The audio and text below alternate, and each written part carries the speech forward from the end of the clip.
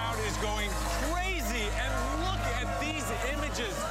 This is the surface of Pluto, a place that until now we've only been able to imagine. And these images were just taken by an incredible little spacecraft. We did it. It truly is once in a lifetime opportunity. I'm Dan Riskin. I'm here at Mission Central in Laurel, Maryland, where the energy has been non-stop. After a long journey, we finally arrived, and this team could not be happier. Are going somewhere new and only have one spacecraft and one chance. NASA's New Horizon voyage to the planet Pluto. This is exploration at its finest. A decade-long journey. You gotta want it. You gotta really want it. The suite of instruments is really unparalleled. To the ragged edge of our solar system. What's out there to be discovered? There are always risks. It's the unknown that will get you. I just want to see what's that. To encounter our most contested planet. I knew something was going to have to change. I remember thinking, nobody cares about Pluto. What would it be like to be standing on Pluto? What would a year be like? We're going to be the first people to see this ever. What do you mean when you say the word planet? There's no other word for what you call something like Pluto. This is the telescope that started it all. It really was an accident of history. I would like to call for a vote. I think the decision is flawed. We're going to show them Pluto really is a planet.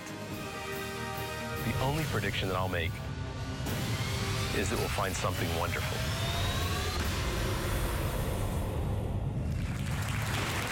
What we're seeing truly is wonderful.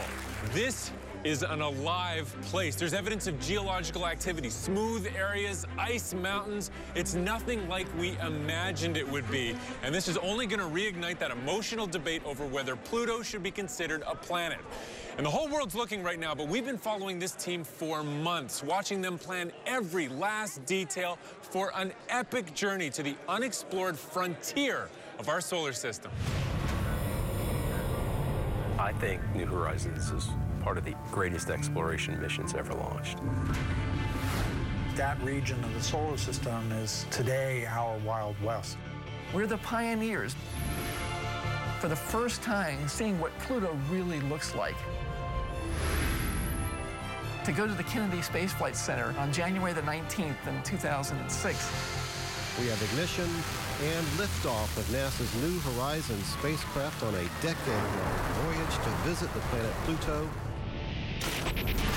To see this huge rocket uh, launching our little spacecraft on the top, weighs about 1,000 pounds, we get a million pounds of thrust. And boom, that rocket's up and gone and on its way. Let's talk about speed. 16,000 meters per second at 36,000 miles per hour. Fastest thing ever launched from the Earth. 45 minutes, it's over the Indian Ocean. Nine hours later, we'd already crossed the orbit of the moon. This is the fastest spacecraft ever to leave the Earth. We're traveling so fast that we would go from LA to New York in five minutes, and we do that 24 7 for nine and a half years. That's what it takes to get to Pluto. The furthest planetary destination ever attempted to the outer edges of the solar system. A tiny spacecraft hurtling through space at epic speeds, facing unknown dangers. One shot to capture this planet up close with high resolution cameras for the very first time. This exploration is the pivotal piece in coming to understand how our solar system came to be and to look like it is. It gives us so many clues about where the solar system came from, how it got to be here, that you just can't pass up an opportunity to study a place like that. Getting a green light for a mission to seek those answers wouldn't be easy. It was a challenge. You know, it took over a dozen years and many attempts by lots of people who were working very hard to get approval to start the mission. We had to build an outer planet spacecraft in record time. Had to get nuclear launch approval in record time, get a new launch vehicle qualified, and produce this very sophisticated, never before been built suite of scientific sensors from scratch. Built to rocket through space, endure temperatures three times colder than anything on Earth, and to protect its prized cameras, which will give us the only close up glimpse of Pluto. So we had to be lean and mean, but also really high tech. They weigh just less than 50 pounds, 30 kilograms. That's amazing. All seven instruments aboard New Horizons and their flight microprocessors draw less than half a 60 watt light bulb in power. We had to do that because Pluto is so far away, we couldn't have big giant solar panels. The sun is too faint, 900 times fainter out at the distance of Pluto. Without sun, it would need power. They would pick, of all things, plutonium. But to get there in record time, they're counting on a supercharged slingshot from Jupiter. We would save three years. That's a lot on a nine and a half year flight time. We're stealing a little momentum from Jupiter, increased our speed by 20%. Now 24 kilometers a second, 50,000 miles per hour. They have a chance to test their cameras. They make an amazing discovery flying past Jupiter's moon, Io. We did not realize that essentially the largest volcano that anybody had ever seen would be coming off of the North Pole of Io. There was a black and white image, and you can see the plume erupting from the surface. And then we had a color image of the same thing, and you could see the hot spot and the different color of the plume erupting. So it was very satisfying. Spacecraft is outward bound from Jupiter, and we're on our way to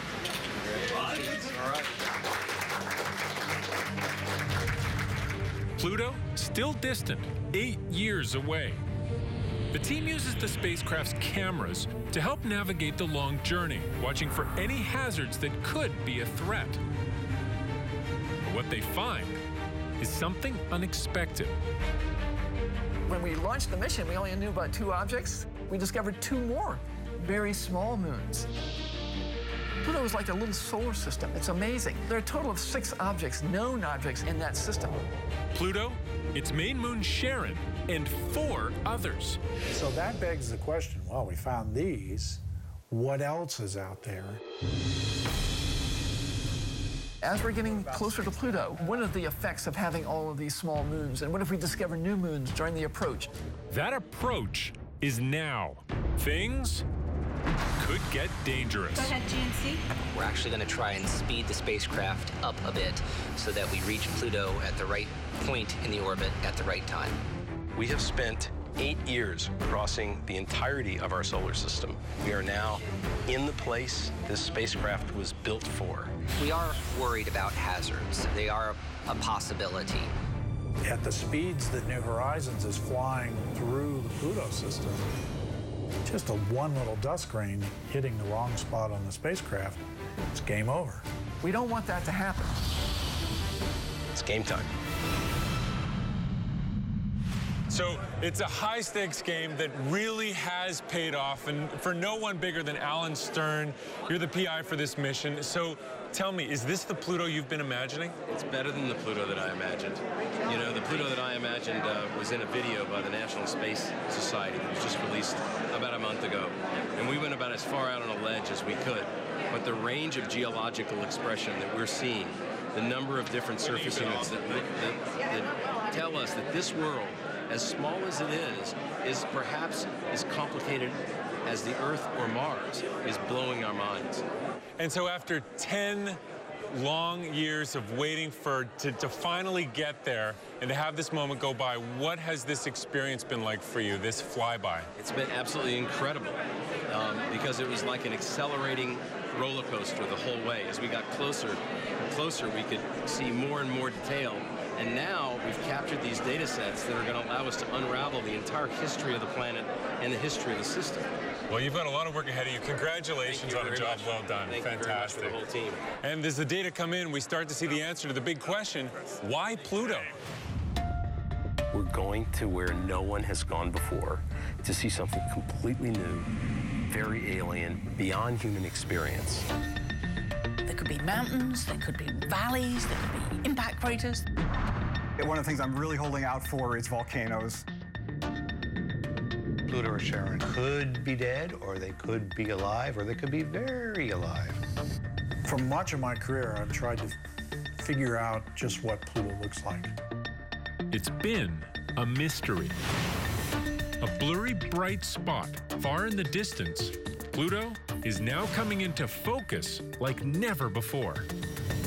But never really fit into the family of planets from day one. It was always a much smaller object than the four giant planets or the four interterrestrial planets. It's small and round. In fact, six Plutos could fit on Earth, and it's been classified as a dwarf planet. A pretty new category for the rocky ice spheres who aren't hefty enough to clear what floats around them. Dwarf planets are planets too, and there are really more dwarf planets in the solar system than there are, quote, regular planets. Pluto lives on the edge of the solar system. The draw for Pluto is the concept of the frontier. Pluto was just the tip of the iceberg. There's a whole family of objects out beyond Neptune's orbit in a region called the Kuiper Belt. That's a region that we haven't explored, and it turns out by studying the small bodies of the solar system, they give us a window back in time to what the solar system was like when it first formed, when the planets first came together. It's freezing. And the surface of Pluto is only about 400 degrees below zero Fahrenheit. There's no place on Earth that's anything like that. You'd feel weightless. The gravity is less than half of what they experienced on the moon. Boy, is this a neat way to travel. Isn't it great?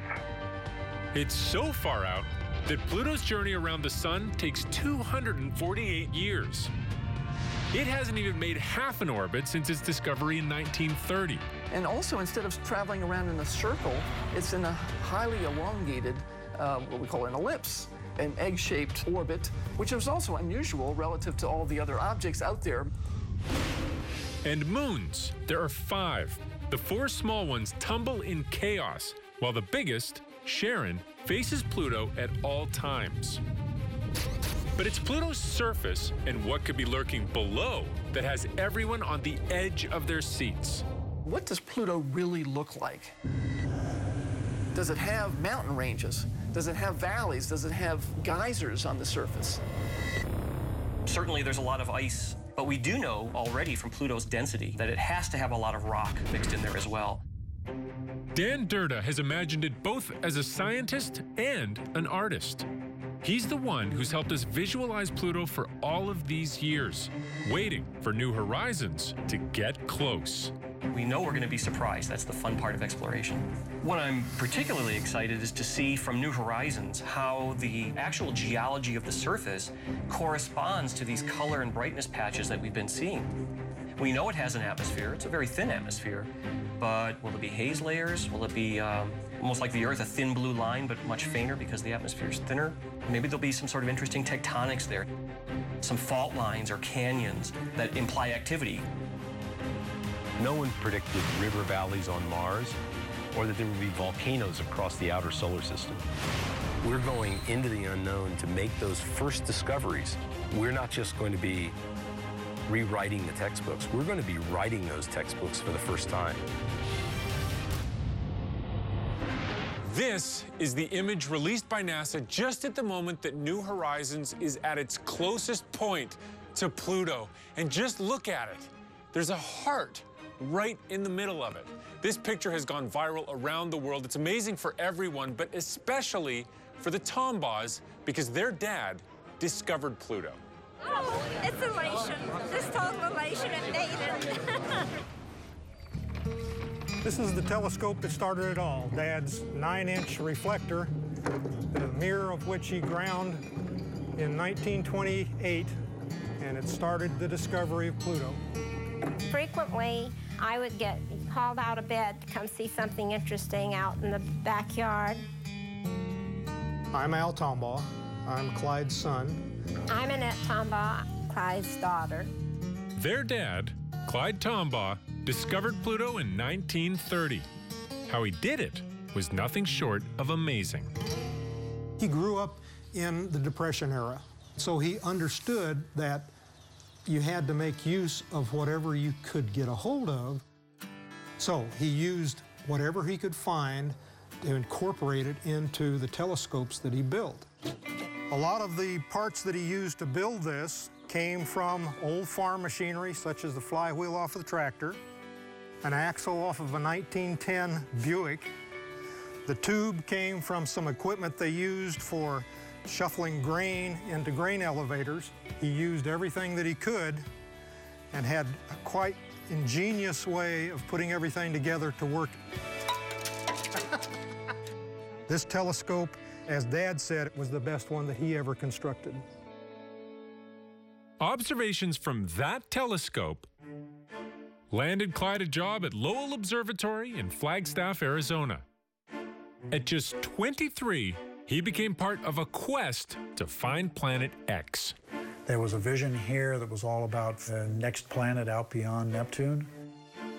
He helped with the maintenance of the observatory, particularly keeping snow off of the roofs and the domes.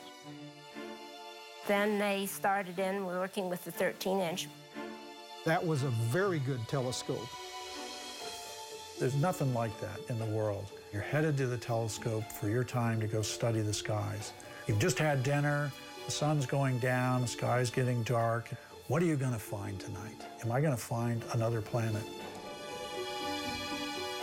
Marc Buie's walked this path hundreds of times. In many ways, he's followed in Clyde's footsteps. You have to load a big glass plate into the back of the telescope, point it in the right place in the sky to collect the light. You might expose this plate for an hour. You're standing in the dark, in the cold, and looking through this little eyepiece to make sure the telescope perfectly tracks the sky. Like snapshots, he'd steal a glimpse of the universe night after night, then investigate every little dot. There's just gazillions of stars to look through. Your task is to find the things that are moving. To do this, two plates are lined up side by side. You compare them, you see one then the other, one then the other, one then the other. And you just keep doing this over and over and over again. Eventually, Tombaugh saw something move. He could tell by the tone of Dad's footsteps that something, Something important hap- was going on. Yeah. He was elated that he was the only one on Earth that knew there was another planet. But he also was pleased that he could satisfy what his employers wanted.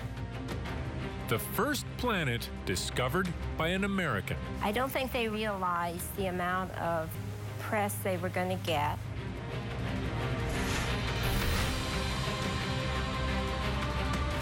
I think it changed him a great deal.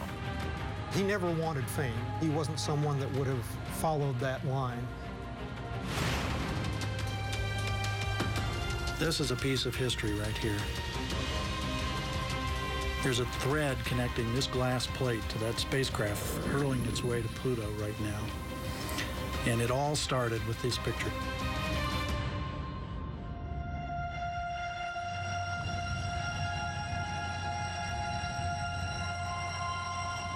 His discovery, a legacy that will live on. Oh, he would have been thrilled about a mission. And he would have found that absolutely He would have exciting. loved it. Just loved it. He would have loved to have been on the science team. I would love to be on the science team. In a way, Clyde is on that team. Some of his ashes are aboard New Horizons. Well, it's great that um, we were able to cast their ashes on the winds here, and now part of Dad's ashes will be cast on the solar winds of Pluto. So if you look at this computer animation of the New Horizons spacecraft as it goes through that flyby, you can see how much it has to rotate and dance around to collect the data, not just from Pluto, but from the other moons in the system as well. And those images are finally starting to come in, and they are creating a ton of buzz. Buzz that is inevitably going to lead people back to that question about what Pluto's status should be in our solar system. Right now, we're heading up to the summit of Mauna Kea. Mauna Kea is the big volcanic peak on the big island of Hawaii here in the middle of the Pacific Ocean, and it's one of the best spots in the entire world to do astronomy. Mike Brown is known for traveling to majestic summits to hunt for planets. And on top of Mauna Kea are many of the best telescopes in the world. And the Subaru telescope is the premier telescope for discovering new things in the outer solar system. It's clear, not a cloud in the sky above here. It's going to be a spectacular night. He's looking in the furthest reaches of the solar system, where Pluto lives. Understanding how they got there and understanding what they're made out of is one of those keys to understanding how the solar system really put itself together. Working through the night, maybe he'll find something new. It's happened before. We really never knew when we were going to find the big ones versus the small ones versus anything else. So it was it was totally random. I had no idea the morning that I went in that I was going to find what became Eris. It was a morning like any other morning, and suddenly there it is on the screen in front of me, and I, I knew we were onto something. He discovered Eris, a planet about the same size as Pluto, but further out in the Kuiper Belt. Eris takes 557 years to make a trip around the Sun. Its discovery, and the likelihood of more planets like it, sparked a fiery debate and earned Mike the title Pluto Killer. The discovery of Eris was a couple of weeks before New Horizons launched. Less than 10 minutes, uh, we should see the liftoff of our New Horizons spacecraft toward the planet Pluto. I remember the announcer at the launch says, Well, it's the mission to the last unexplored planet. I said, Well, that's not going to be true by the time it gets there. Because you knew as soon as you discovered Eris that either it was going to be a planet or Pluto was not. I would like to uh, open this uh, IAU General Assembly. The General Assemblies of the International Astronomical Union happen every three years. We have scientific discussions, and occasionally there are topics that come up which are a little more interesting, such as what is the definition of a planet? My name is Gerard Van Belle. I was one of the astronomers actually at the vote in Prague in 2006, where we voted on the status of Pluto and other bodies in the solar system. Astronomers, not planetary scientists, would determine the fate of Pluto. Just 5% of the total membership would actively participate in this historic vote. There was a certain electricity in the air because we knew that whatever came out of that meeting was going to make history.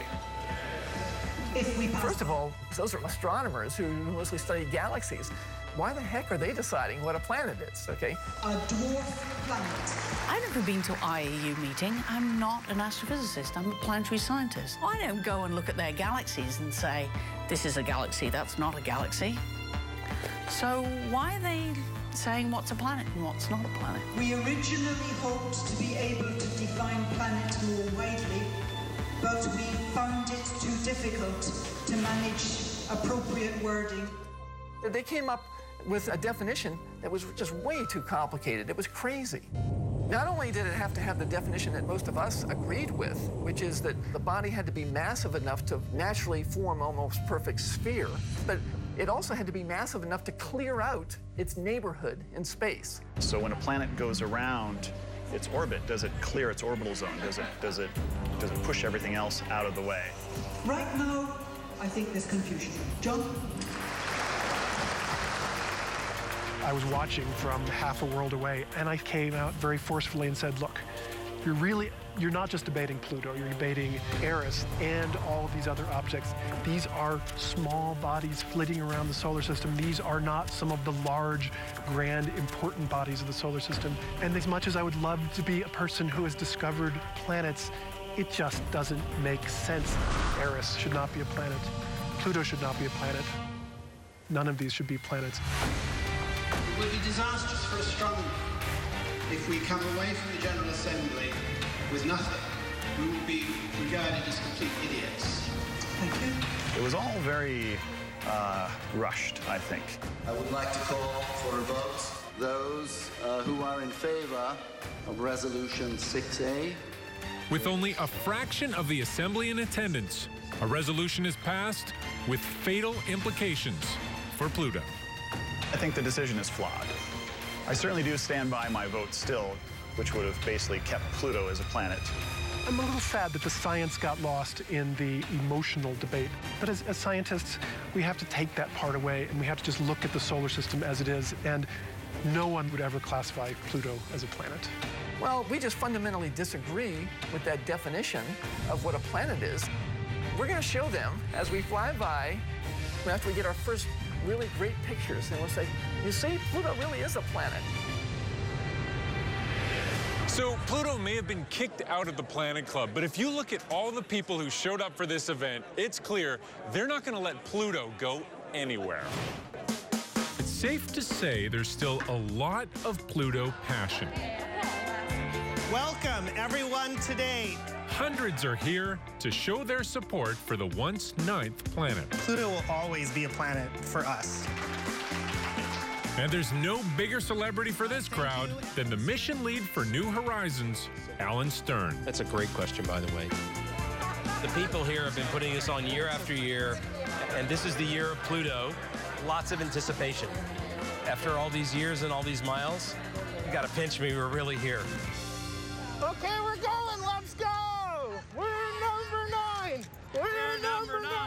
Pluto has always been very popular, especially among kids, because it's like the run to the litter. It's very small and it doesn't get any respect. There's also the fact that it is the only planet discovered by an American. In 1930, Clyde Tombaugh made that discovery. He was no longer here to see its status change, but his daughter remembers. Stunned is your reaction. All of a sudden, the textbook companies are scrambling to take Pluto out of their astronomy sections. So you have all these products that had been in classrooms on collector shelves that put Pluto into a class of objects it no longer was. If there's one thing collectors like more than anything else, it's mistakes. The idea of a stamp printed wrong, a coin struck wrong. Now you had all these products that were just mistaken. It was not a planet at all. It was a dwarf planet. Icy Little Pluto is still a hot product in the stores. Nine years after its demotion, it's still being included in solar system models, in toys, in puzzles. That's because that's what the public wants. They want Pluto as part of their solar system. Regardless of its label, Alan Stern is focused on the bigger picture. It's very important to me personally that we do what the adults of our parents' generation did for us in opening up the solar system for the first time and enthusing so many kids about exploration and science and technology. We have an opportunity to show as an example how much fun this can be, how enlightening it is, how great the scientific chase is, so that they can take on even bigger challenges. Up next, we know we only have one shot at it. Looking through the lens of New Horizons. We're going to be the first people to see this ever. Capturing images like these while watching for dangers like this. This is New Horizons. We're actually backstage at NASA where their 1 8 size model is. This is the plutonium power source. You've got an antenna that has to point towards Earth to send data. But the collecting of data during flyby happens with a great camera that is right there. It's called LORRI, and its story begins in the backyard of an avid stargazer. We're here in Gamber, Maryland, in my backyard observatory. Been an astronomer since I was 12 years old. It was like the sense of discovery. It's like I found something I didn't know existed. When I was a teenager, I started building my own telescopes. I was grinding my own mirrors and building my own optics in my basement. I found out that building them was just as much a passion. Well, that's how I got into my profession. Steve builds cameras. As the engineer behind the LORRI Imager on New Horizons, he's playing a part in revolutionizing space history. I was responsible for overall building, assembling it, testing it, calibrating it. LORRI is a digital camera with a large telephoto lens. At closest approach, it will snap 450 photos of a planet never seen before. It will reveal things like craters and cliffs. We were given the requirement that when we were at closest approach to Pluto, about 10,000 kilometers from Pluto, we could resolve about a 100 meter object. The Central Park's a great analogy. If we flew by the Earth and we were imaging Manhattan, we'd be able to make out the ponds in Central Park in New York. But building a camera to withstand minus 400 degree temperatures isn't easy. Telescopes are not very well behaved when they're in a challenging thermal environment. That caused us to have to use special material, which is silicon carbide. It's the same material that's in bulletproof vests. Silicon carbide expands and contracts very little bit with heat and temperature. That's key because it needs to stay in focus. Every step of the way, the imagery from LORRI helps the flight team stay on target and is critical in detecting potentially mission-ending hazards. LORRI is a fixed focal length camera. We can't adjust it. So the, how we focused it on the ground is how it has to be in focus in flight. So the distance between the primary mirror, which rests here, and the secondary mirror, which is here, has to be maintained very precisely. Because as we go by Pluto, we only have one chance to get our best imaging. They're counting on this glass to reflect when there's hardly any light. Pluto is 30 times further from the sun than the Earth is. In order to collect those few photons that are bouncing off Pluto's surface and arriving at the New Horizons spacecraft, we need a large collecting area to maximize how much light we get there. Until this year, the best look at Pluto came from Hubble. A week from Encounter, Pluto looks like this. The images continue to pour in. I thought it would never happen. you know, when we launched, we were over nine years away from Pluto, and, and nine years just seemed like forever. We're going to be the first people to see this ever. And it's coming from an instrument that, you know, I was part of the team that developed. It's just amazing.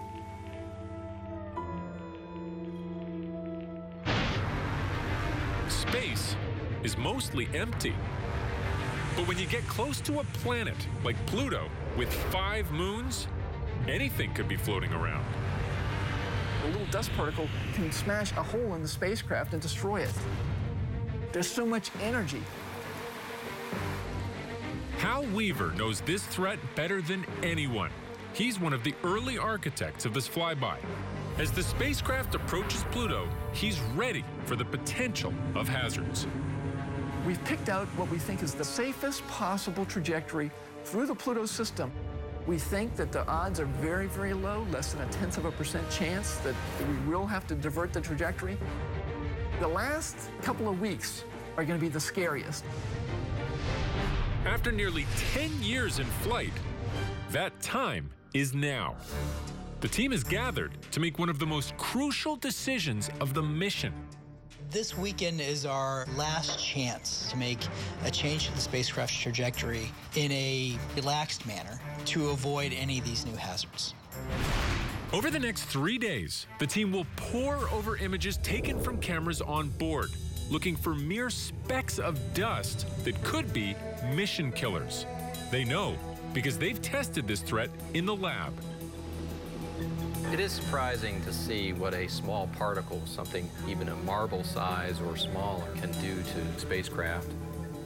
My name is Kevin Poormon. We're at the University of Dayton Research Institute, and I fire projectiles extremely fast. Here, the most critical parts of the spacecraft are put in the line of fire. You're one of the few facilities in the U.S. that can launch particles to simulate this dust that can threaten the spacecraft.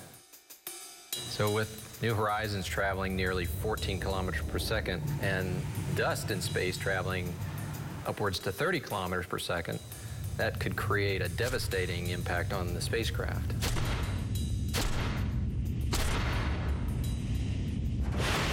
It's why the team back in Maryland needs to be sure nothing is in their way. It's very tense right now because we don't have uh, all the time in the world to look at this data as it comes down. We've got to make decisions. They need to decide whether they'll stick with the planned flyby or take a new route. Right now, the plan is to get nearly 40 times closer to Pluto than the Earth is to our moon. Sensors will probe the solar wind and measure the atmosphere. If we do decide to change the trajectory, it's going to really hurt the science return that we get back from this mission. To avoid obstacles, they could fly closer, but at those speeds, the images could blur. They could also turn the spacecraft and use the antenna as a shield, but that would mean its instruments would be turned away. Crucial data lost. We'll do that if we have to, but this is the time that we make that decision.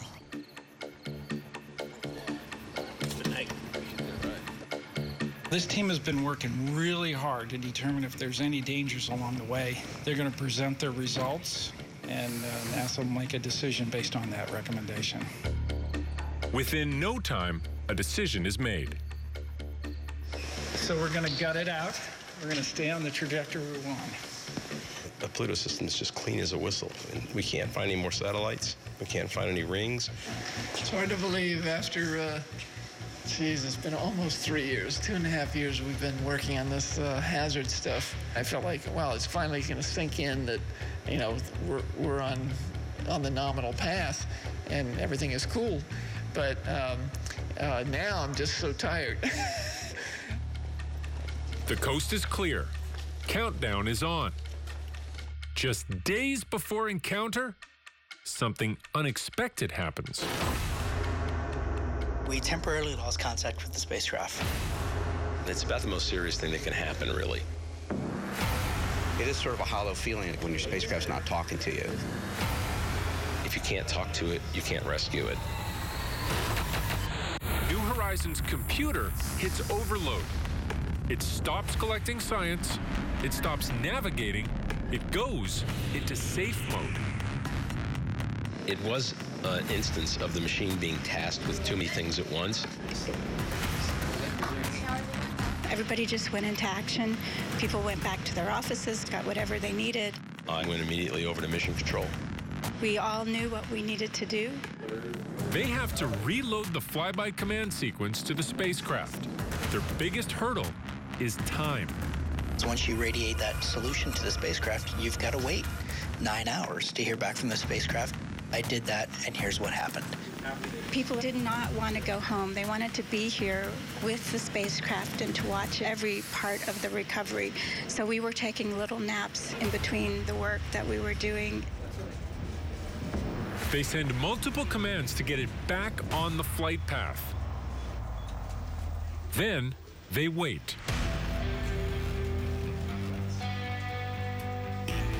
So that's going to be a huge sigh of relief when we see that load starting because now we know we're into territory that we've tested over and over again. Pluto Mom, this is Pluto Ace on Pluto 1. We can confirm the first time tag is fired. Copy that, everybody. We're now in the flyby sequence. All right. To address that anomaly in only two days, um, simply amazing. You know, so I, I can't be prouder of the team.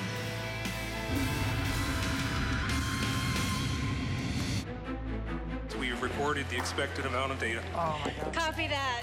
Looks like we have a good data record. A flawless flyby of Pluto and its moons. Hundreds of images taken at close range, now streaming back to Earth. Now, it's going to take more than a year for us to get them all, but as each one rolls in, we discover more about this mysterious world. We have a healthy spacecraft. We've recorded data of the Pluto system, and we're outbound for Pluto.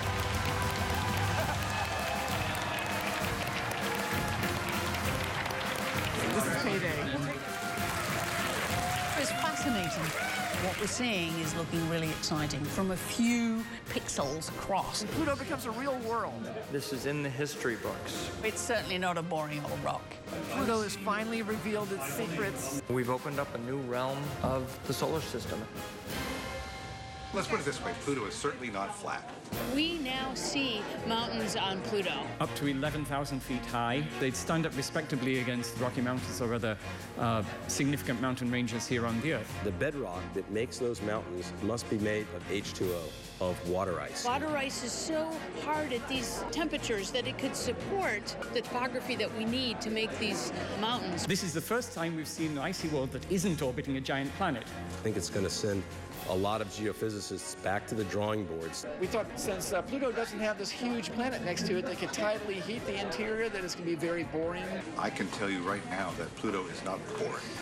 It's clear that there are seasonal changes. We have this very bright, exotic snow. We know Pluto does have an atmosphere. It's nitrogen, just like our atmosphere here. It's the other red planet. But of course, there are many different hues of red. We're still learning what those different bright and dark spots mean, but basically they're telling us that they're probably made out of something different. We now have a name for the heart. Because it's the brightest and most prominent feature on the planet, We want to honor the discoverer of Pluto. we want to informally call it Tombaugh Regio for the discoverer of Pluto. This is civilization's first step into this um, whole new region of the solar system. And that's just the tip of the iceberg. Pluto is now revealed. Now we have explored all nine of the original planets. It's a great day for NASA. It's a great day for humanity. And it's not over. That spacecraft is going to continue sending data back from Pluto, and then it's going to travel out past Pluto, sending data from beyond. It's an historic moment. Thanks for being a part of it. I'm Dan Riskin. Good night. Copy that. We're in lock with telemetry with the spacecraft. Scientists won't be rewriting textbooks with this historic mission. They'll be writing them from scratch. Look what we accomplished. It's, it's truly amazing that humankind can go out and explore these worlds